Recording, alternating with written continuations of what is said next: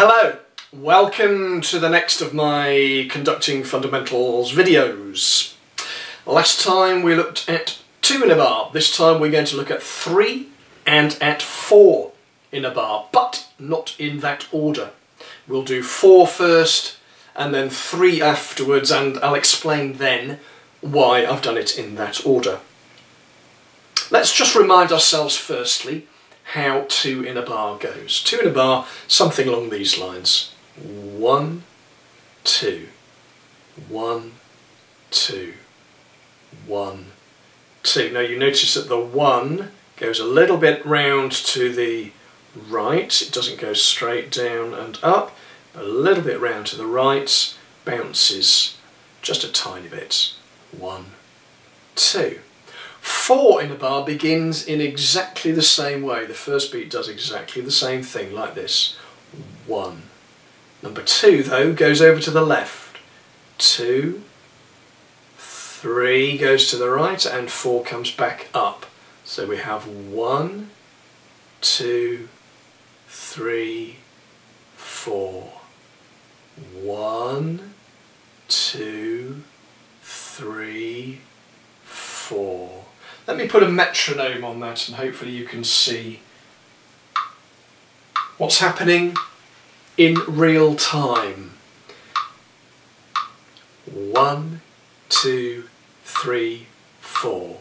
One, two, three, four. One,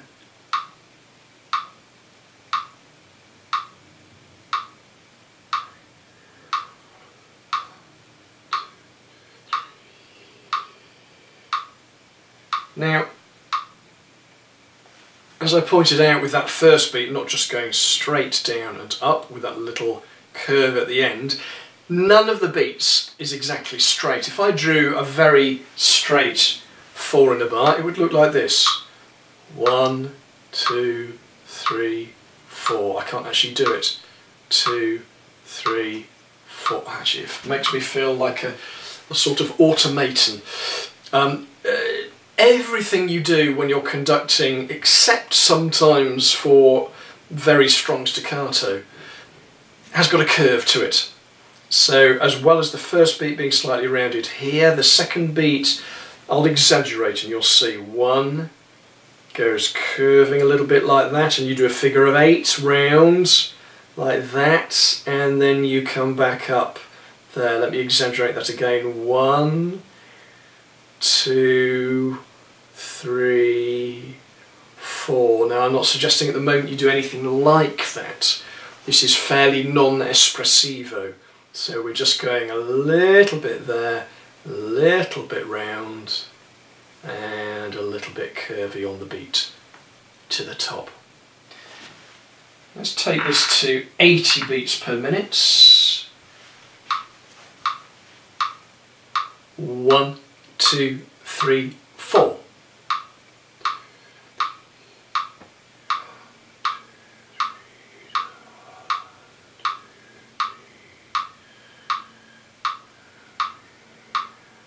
Okay, and let's go one more, up to 100 beats per minute. One, two, three, four.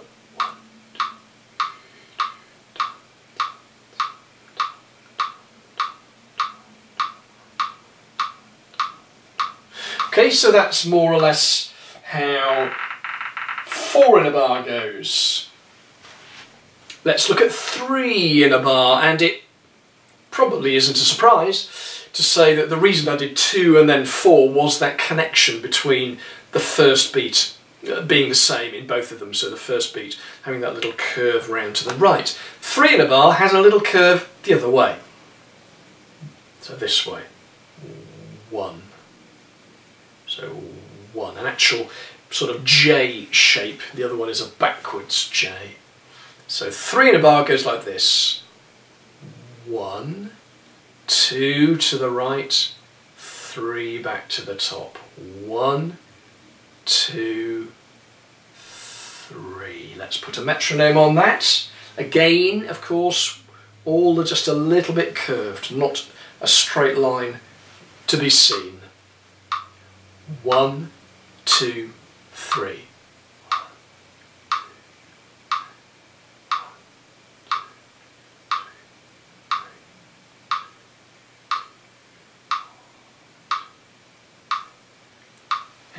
Let's follow the same procedure so you can see it's speeding up a little bit. One, two, three.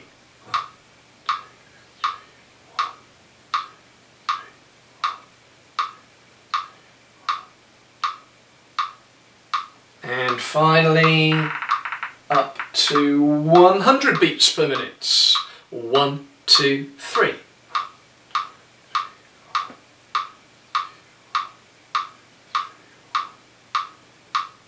Okay, so that's roughly how three and four in a bar go in a relatively non-espresso, relatively non-espressivo manner.